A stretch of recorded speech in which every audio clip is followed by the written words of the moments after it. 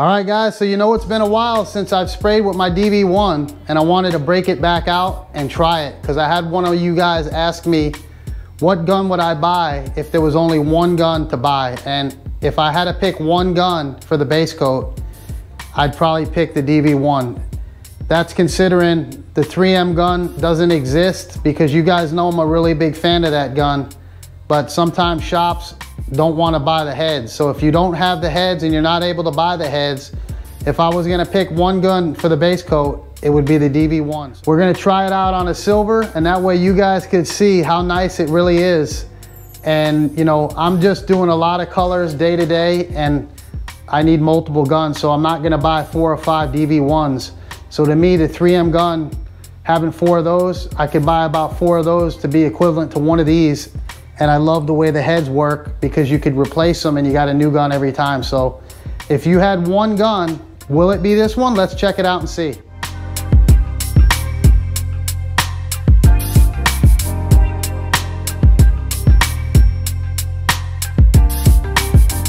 All right, guys, we're all loaded up. We got our base in it. This is 636, and this is the 1-4 head with the DV1. And one of the great features I love about it also is no regulator. Because you guys know as well as I do, when you get down low like this and you're spraying something low, you gotta bend that hose all up because you got no room to get it low because of that regulator extending it down even lower, especially on lower vehicles. This one here is kind of up higher so you don't have that problem as much. But when you get down on a low car, you're actually turning that gun sideways like this to try to paint, especially in the clear coat. So the DV Clear's got the same thing. So we're gonna get into uh, basing it out now. And you guys see here, I seal the edge of this. I like sealing the edge of my blends. That way it's the same exact way as that fender is over there. For coverage reasons and also for the sand scratch. Because when you sand, you know, put base down over something that's non-sanded, it's gonna lay differently than on something that's sanded. So I was taught when I first started spraying water about 15 years ago now, I started out with the Envirobase they wanted you to seal everything because they said that the color can actually change on whatever substrate it's gonna land on, whether it's sanded or not, whether what grit it is too. So I do it, that's the way I do it. I went ahead and tacked this. Let's get into using this gun and seeing now how great it is because silvers definitely is a good test.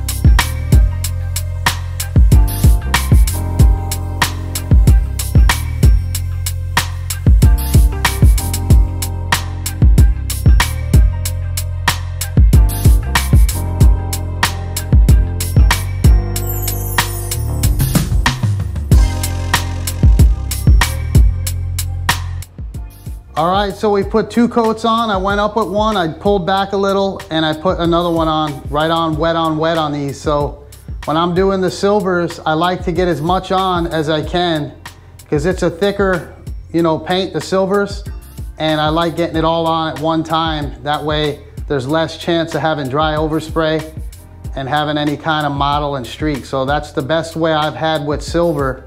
Go ahead and put on a wet coat, back up, dust it, get your coverage. That way now all we have to do is do an orientation coat because you don't want to put silver back, keep putting more and more silver on. To me, it, it makes more trouble. So get it on, get coverage, and then uh, do your control coat. So we got it on there now. It's spraying nice, and I'm using that gun at 13 PSI for my coverage coats. And it definitely puts it down nice and even. So we're gonna let this one here flash off and then we're gonna get into putting the drop coat on it. Blending this out a little bit. You can see it looks like it's different, but I haven't worked the blend at all yet. So let's go ahead and work this blend in. You guys know this color's been verified and uh, it's gonna match. So I've checked it and we are good to go on the color, but you can see there it looks different right now because I haven't blended it out. So let's go ahead and uh, put our drop coats on it and then clear it but definitely do enjoy spraying with the DV1.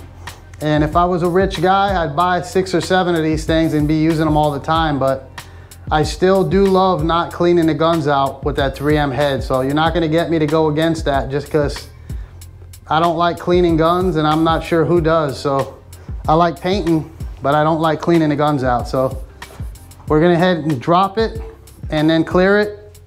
But definitely if you have one gun that you can afford and one gun you would need to use, go ahead and pick yourself up the DV1 and who knows when that Iwata comes out there's a chance that it might be really good too, that new one they come out with, that LS for the base. So they're supposed to dial it in and get it better.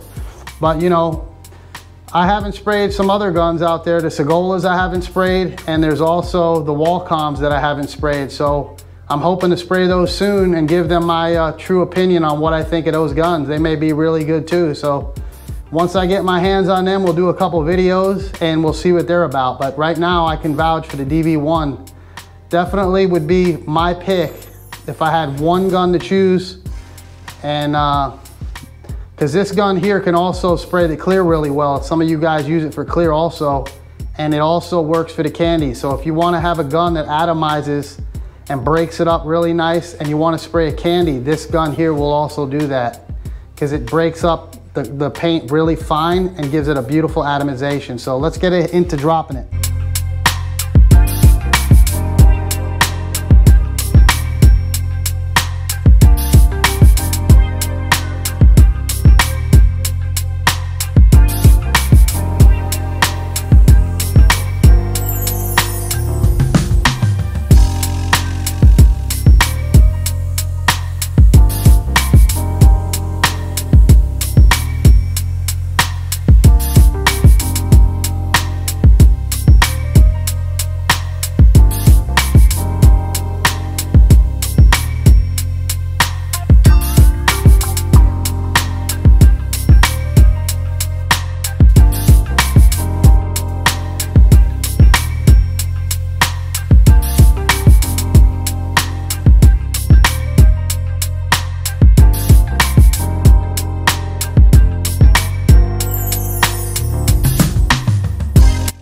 All right, guys, so that's the DV1, and it's been a minute since I've used it, and it really is a phenomenal gun. So you guys know I love the DV1 clear gun.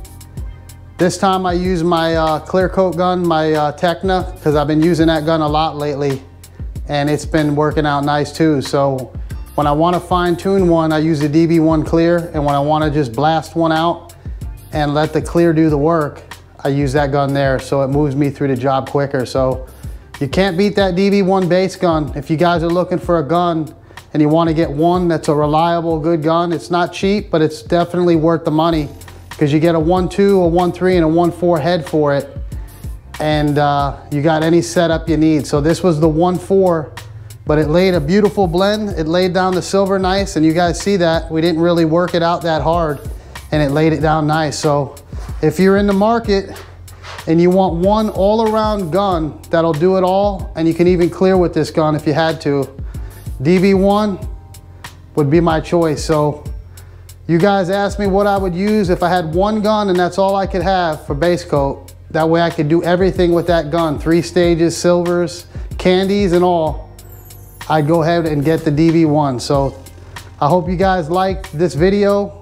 And uh, if you're interested in the DV1, there's plenty of places you can get it and just check it out online. So thanks for watching, hit subscribe and see you next time.